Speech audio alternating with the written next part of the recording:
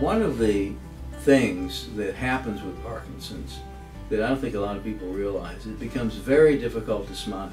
There's a thing called a Parkinson's mask, and you're looking at it right now. Because before I had Parkinson's, I smiled a lot more when I talked. Uh, even when I sang, I smiled a lot more.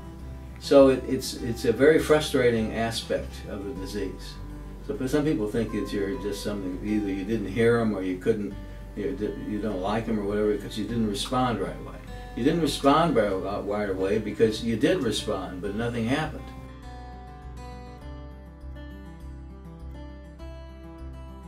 So some people say, well, don't you find anything funny anymore? I said, well, actually, I do, but I just, it, it's just, there's, there are limits to my ability to, uh, to relax my face.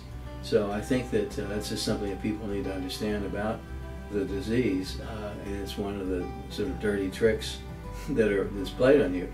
On the other hand, uh, if you uh, you can still enjoy uh, a, a, good relationship if the other people you know understand that uh, there's just there's some things that you can't really make an improvement on. That seems to be one of them is the Parkinson's mask.